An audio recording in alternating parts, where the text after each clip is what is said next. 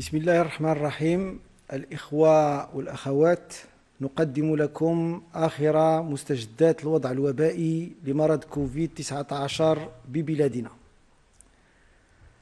فخلال 24 ساعة الأخيرة سجلت 71 حالة جديدة ليرتفع إجمالي عدد الحالات المسجلة منذ الثاني من مارس إلى هذا الوقت إلى ثمانية آلاف وخمسمائة وثمانية. أي بنسبة ثلاثة وعشرين فاصلة أربعة لكل مئة ألف نسمة. سجلت الحالات الجديدة بكل من جهة مراكش أسفي. ثلاثون حالة بمدينة مراكش لبؤرتين عائليتين كنا تحدثنا عنهما في الأيام الأخيرة واللتان ما زالتا نشطتين. 22 حالة بجهة طنجة تطوان الحسيمة ببؤر مهنية وكذلك لمخالطين مختلفين. هذه الحالات سجلت بكل من مدن طنجة العرائش والفحص أنجرة.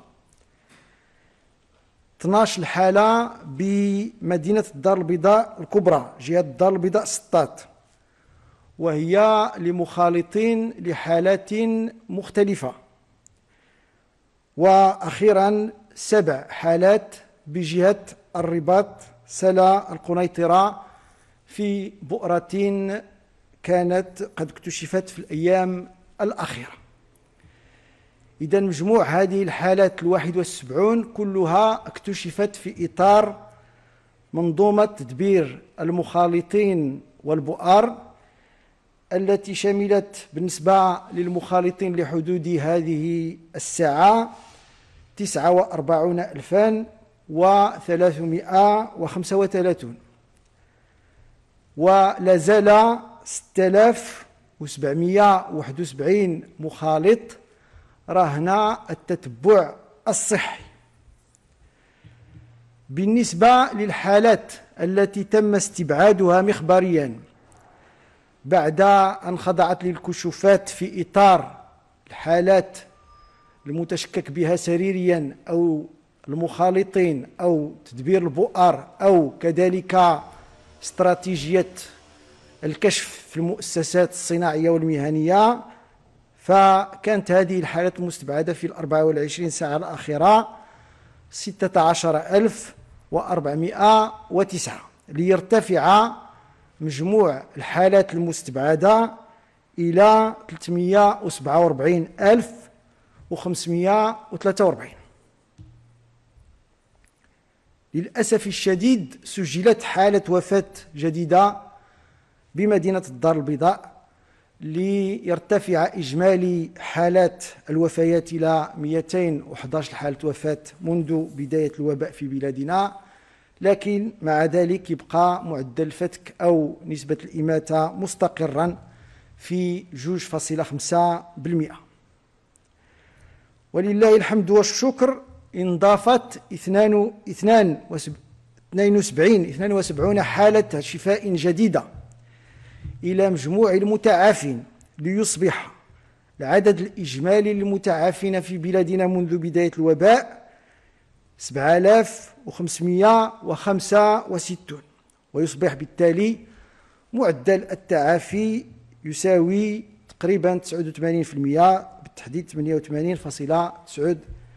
88.9% بالنسبة للحالات النشطة أصبحت اليوم في المغرب هي 732 حالة موزعة على مختلف مستشفيات المملكة أي بمعدل جوج لكل مئة ألف نسمة. هذه الحالات معظمها يوجد بجهة الدار البيضاء سطات 246 حالة. جهة مراكش أسفي 188 حالة. جهة طنجة تطوان الحسيمة 152 حالة 88 حالة بجهة الرباط سلا القنيطرة. فيما توجد فقط حالتان بكل من قلميم ودنون وسوس مساء وحالة واحدة بجهة العيون الساقية الحمراء ودائما الدخلة والذهاب وضرعة فيلات ولله الحمد بدون أي حالة نشطة.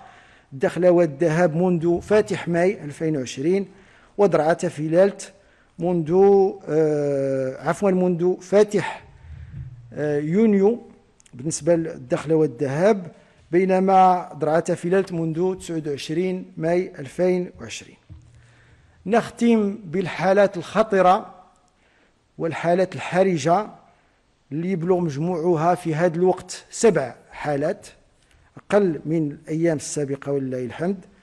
ثلاثة بمدينة الدار البيضاء وأربعة بمدينة طنجة من بين مجموع الحالات السبعة الخطيرة والحرجة. هناك أربع حالات تحت التنفس الصناعي أو الاصطناعي اثنان بمدينة الدار البيضاء وحالتان بمدينة طنجة. كانت هذه إذن آخر المعطيات الوبائية المتعلقة بمرض كوفيد 19 والسلام عليكم ورحمة الله وبركاته. ما تنسوش تابوناو في لاشين يوتيوب وتفعلوا الجرس باش يوصلكم الجديد. أيام 24 عيونكم التي لا تنام.